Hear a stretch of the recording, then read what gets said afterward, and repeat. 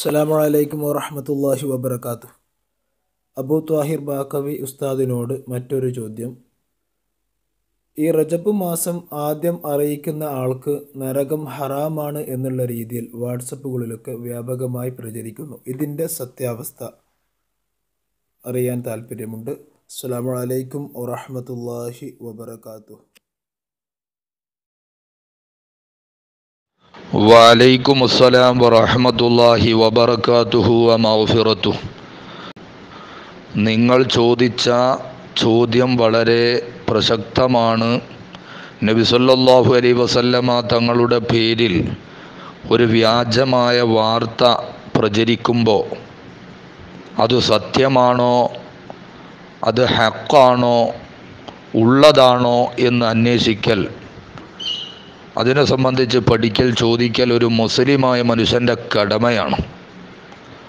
സൂറത്തുൽ ഹുജറാത്തിൽ അള്ളാഹു പറയുന്നുണ്ട് യാ അയ്യുഹല്ലദീന ആമനു ഇൻ ജാഅക്കും ഫാസിക്കും ബിനബ ഇം ഫതബയ്യനു.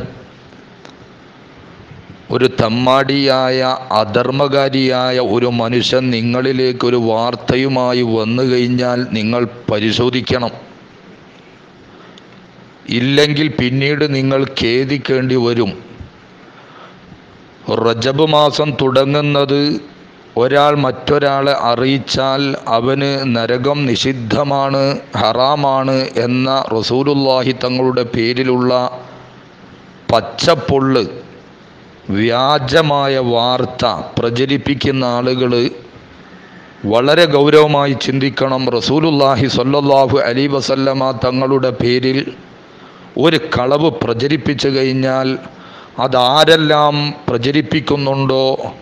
തീർച്ചയായും നരകത്തിൽ ഒരു സീറ്റ് ഉറപ്പിച്ചു കൊള്ളണം.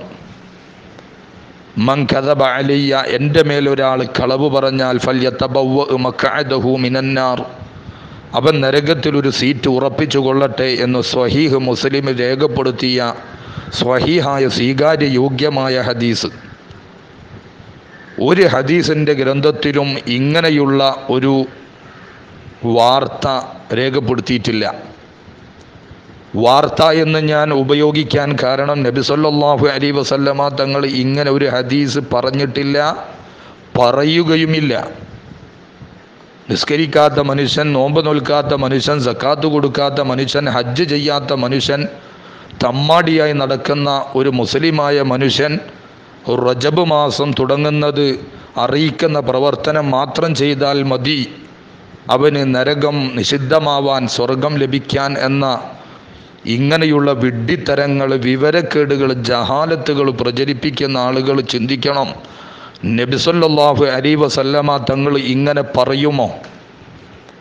ഒരു മൊമ്മിനായ മനുഷ്യൻ അത് വിശ്വസിക്കാൻ സാധിക്കുമോ? പ്രഗത്ഭരായ ഹദീസിന്റെ പണ്ഡിതന്മാർ ഏതെങ്കിലും ഹദീസിന്റെ ഗ്രന്ഥങ്ങൾ രേഖപ്പെടുത്തിയിട്ടുണ്ടോ ഈ ഹദീസ്?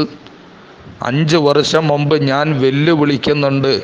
ഇങ്ങനെ ഒരു ഹദീസ് ഏതെങ്കിലും ഒരു മുഹദ്ദീസ് ഏതെങ്കിലും ഒരു പ്രസക്തമായ ഹദീസിന്റെ ഗ്രന്ഥത്തിൽ രേഖപ്പെടുത്തിയതായി തെളിയിച്ചാൽ ഒരു ലക്ഷം രൂപ നൽകാം എന്ന് വെല്ലുവിളിച്ചിട്ടുണ്ട്. ആ വെല്ലുവിളിയെ ഈ സെക്കൻഡ് വരെ ഒരു മുസ്ലിമായ മനുഷ്യൻ ഏറ്റെടുത്തിട്ടില്ല. ഇങ്ങനെ ഷിയാക്കളുടെ യഹൂദികളുടെ പ്രവർത്തനം ചെയ്യുന്ന എന്റെ പ്രിയപ്പെട്ട സഹോദരങ്ങളെ അള്ളാഹുവിന്റെ നരകത്തിലേക്കാണ് നിങ്ങൾ ഈ മെസ്സേജ് ഫോർവേഡ് ചെയ്യുമ്പോൾ നിങ്ങൾ പോകുന്നത് എന്ന് മനസ്സിലാക്കണം.